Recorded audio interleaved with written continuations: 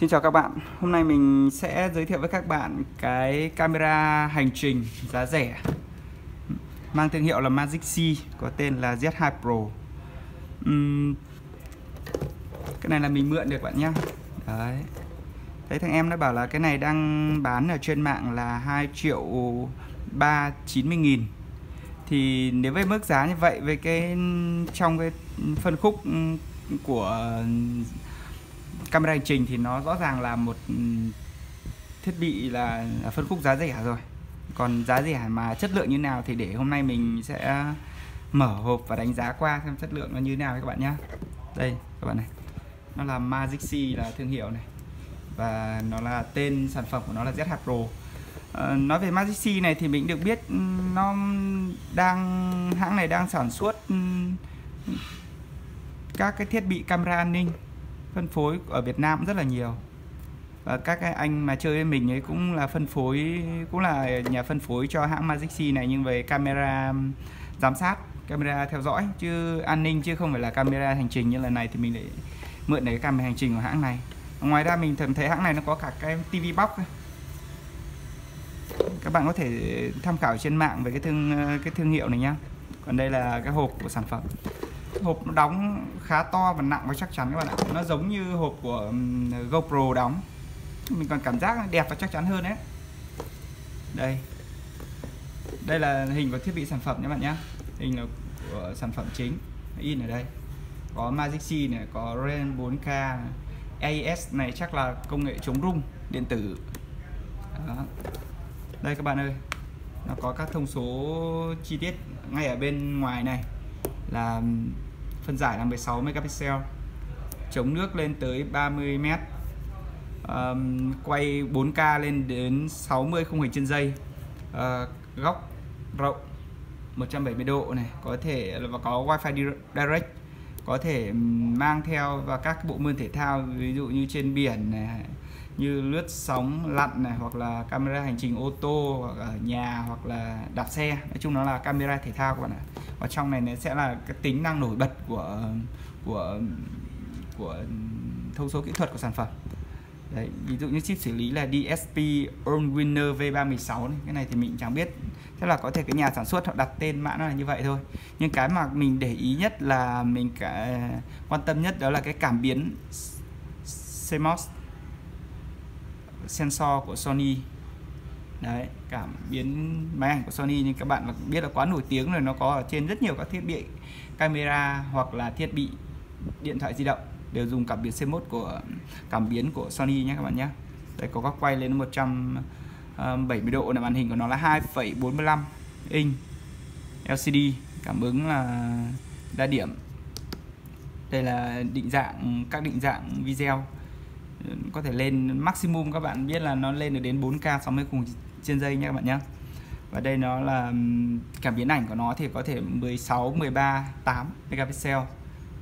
Công nghệ là chống rung là AS này, dạng nén là video H264 Wi-Fi kết nối, app kết nối ở trên ờ, App Store hoặc là Set Play thì là DV King 4K nhé đây nó có hỗ trợ suất video HDMI 4K dung lượng pin của nó là 1350 mAh. Điện áp 3,7V với cái dung dung lượng như này thì là các bạn cứ yên tâm nhá. Quay phim các thứ là thoải mái chụp ảnh chống nước có điều khiển từ xa có này. Ồ có điều khiển từ xa này hay này. Và hỗ trợ thẻ nhớ mắc lên đến 128 g đây là xưa qua. Mình mở hộp để các bạn xem nhá. Cái này là mình mở rồi. Bây giờ mình chỉ quay lại cho các bạn xem để nó nó rõ hơn thôi còn đây, chi tiết sản phẩm thì mình đã để ở ngoài đây. Đây mình để sang bên nhá. Xem, sách, đây là sách hướng dẫn sử dụng thì là nó toàn bộ là tiếng Việt các bạn ạ. Có lẽ là cái sản phẩm thì này nó đánh đánh thẳng vào thị trường Việt Nam. Nên cái sách hướng dẫn sử dụng này là nó chỉ có tiếng Việt thôi. Rất dễ hiểu. Trong này có nhiều nhiều phụ kiện đi kèm. Cái này là cái kết chống nước. Kết chống nước. Lên đến 30 mét các bạn ạ nó cảm giác nó dày nó to hơn cái sản phẩm đàn anh còn ở cái cái sản phẩm của cùng với nó là GoPro ấy, nhưng mà cái nó to hơn này chắc chắn. Dày và nhựa nhà nhựa siêu trong nhé các bạn nhé nhưng mà mình nhìn nó còn so sánh với GoPro thì chắc là không thể được rồi. Đây có rất nhiều dây đeo các bạn này. Dây đeo thiết bị.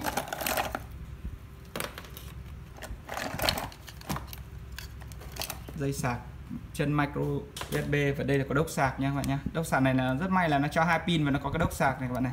Mình mang theo là nếu mà một ngày đi chơi là mình hai quả pin này là sạc đầy và mang đi là biết cái này nhà luôn. Trong này thì có chân ngàm với các hãng khác thôi. Đây nó cho thêm một cái khăn để lau mắt kính. Chân ngàm và có cả băng dính hai mặt để mình có thể cố định đế, ngàm và đế. Vậy thôi rất nhiều mà mình chưa biết cách lắp như nào ấy. ưng ý nhất là nó có thêm cái remote này bạn này. Cái này nó có cái dây đeo này nhá các bạn nhá. Đấy chúng ta có thể xỏ dây và có thể đeo vào tay để khi mà nó đây là camera thể thao mà camera hành trình. Đôi khi mình đeo vào tay này mình bấm chụp hay là quay phim hoặc là uh, đoạn cảnh là đẹp thì mình chủ động. Mình thấy cái này nó làm hay hơn là GoPro đấy nhá. GoPro trước là GoPro 7 GoPro 8 là không có remote này đâu quảng xa bên để mình xem cái sản phẩm chính của nó. Đây các bạn đây mình cầm thì mình thấy là chiều dày và độ độ lớn, kích thước lớn màn hình của nó thì mình thấy bằng bằng cái GoPro. Nhưng mà cái độ dày và trọng lượng của nó, dày này, dày hơn này. Trọng lượng của nó thì ừ, cũng nặng hơn. Đó. cái này nó làm, nó là nhựa các bạn nhá. Nhưng nó làm giả màu này và kiểu vân vân này nó giả cao su. Mình cầm cái sản phẩm này mình thấy nó giống cái điện thoại chống va đập chống nước của Nhật mà thương hiệu Casio ấy, hoặc là giống mấy cái con của quân đội Mỹ sử dụng điện thoại mà Kyocera. Đấy nó giống con đấy nó làm rất là gọi là chống va đập chống sốc chống bụi. Các các phần viền cao su này thì này là cao su thôi. Cái phần này này là cao su thôi. Còn lại là nó là nhựa nha bạn nhé. Ờ, màn hình 2,45 inch. Đây trên này có nút nguồn nút ok và nút menu. Để mình bật thử. Đây, Magic C bạn. Đó.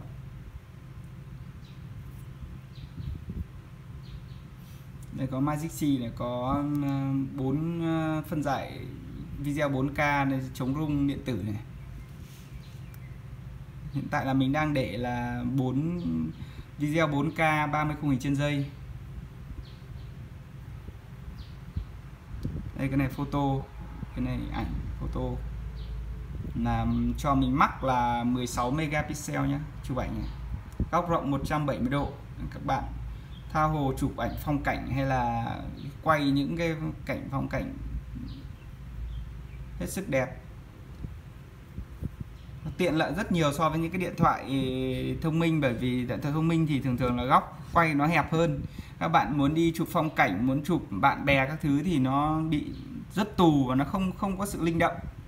Đây thì nó có góc rộng này thì thoải mái để trải nghiệm các bạn này. Vừa nãy mình cũng quay một clip ngắn. Mình thấy là chống rung trên con này cũng khá tốt.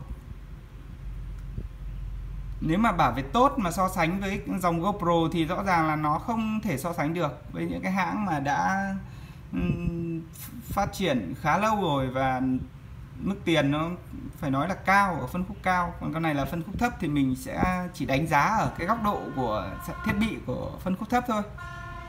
Màu sắc lên nhưng mà nó hơi hơi tông màu nó kéo, cảm giác nó hơi quá hơn một chút. Nó nó không thể thực được. Nhưng mà ở cái góc độ là chấp nhận được. Khá là ok. Đây các bạn này, cái remote của nó này.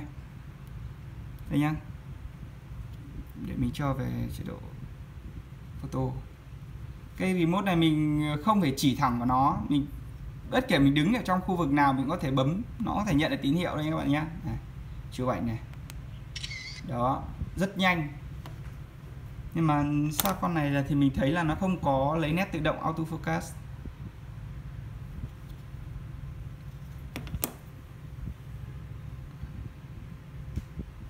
Màn hình màn hình thì hiển thị thì nét, nhưng mà các cái phông chữ và các thứ thì mình thấy nó vẫn còn răng cưa. Có thể là nó chưa được tối ưu những thiết bị giá rẻ này thì những cái, nếu mình để ý kỹ những cái đấy thì rõ ràng là nó chưa được làm làm chưa được trau chuốt rồi đấy. nhưng mà cái ừ, đầu tiên là mình nhìn vào kiểu dáng và thiết kế nó chắc chắn, nó liền mạch, liền khối cái này có wifi direct, các bạn có thể kết nối vào điện thoại để mình lấy dữ liệu ra hoặc là mình có thể là điều khiển hoặc điều khiển bằng điện thoại nhé các bạn nhé. Đây mình mở. Đây. Cái thiết kế cái ngàm đẩy này nó giống như kiểu là của dòng GoPro ấn nút xuống và đẩy ra. Đây bạn này. Đây có một chân à, micro USB để sạc hoặc là lấy dữ liệu còn một chân là mini HDMI để có thể xuất trích xuất dữ liệu ra à, có thể ra các thiết bị như TV chẳng hạn. Đây. À cái này là cái cái ngàm này, cái ngàm này, đậy này của nó là không có gioăng cao su nhé các bạn nhé. Để chứng tỏ là can này là không không không có khả năng chống nước nếu mà mình bỏ case bỏ cái case ra. Thế nên các bạn là chú ý là không ngâm nước khi mà không có kết hoặc là đi mưa các bạn là phải chú ý nhé. Đấy. đây là, đây đây là khay để pin làm hoàn thiện sản phẩm cũng khá tốt đấy các bạn ạ. Viên pin 1300 mAh điện áp 3,7V này các bạn này. Làm rất là vuông vắt vuông vắn và chắc chắn nhé. Để xem nào. à đây khe này là cái thẻ nhớ micro SD cái này thì nó lại hơi khác với dòng GoPro là nó lại làm ờ, khe cắm thẻ nhớ lại cùng với khe khay pin. Dòng GoPro kia thì nó cắm khác nó thiết kế khác.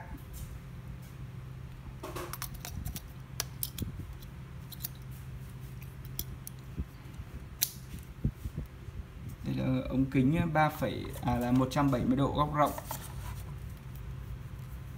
Và cái vành đai này của nó là bà làm bằng kim loại các bạn nhé. Để là nó gia cố cho cái mắt kính bằng thủy tinh này bằng bằng kính này để khi va đập nó không bị ảnh hưởng nó không bị vỡ.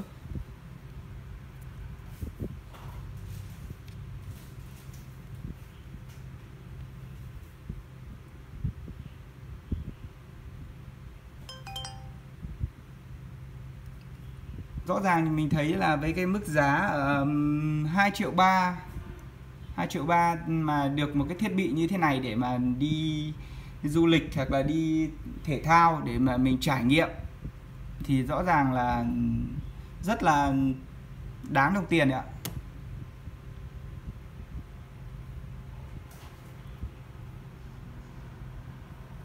Còn thiết bị này thì chắc chắn là nguồn gốc xuất xứ là ở Trung Quốc rồi nhưng mà linh kiện điện tử và các cái thiết bị linh kiện nó, nó mua hàng chất lượng thì mình dùng cũng thoải mái yên tâm. Và những cái hàng như thế này thì tất nhiên bán thì các bên bán nó sẽ bảo hành cho mình tối thiểu là 6 tháng. Nhưng mà chắc là mình nghĩ là bảo hành là một năm đấy. Cái này có thể gắn vào các tripod hoặc là các gậy selfie này cũng rất tiện.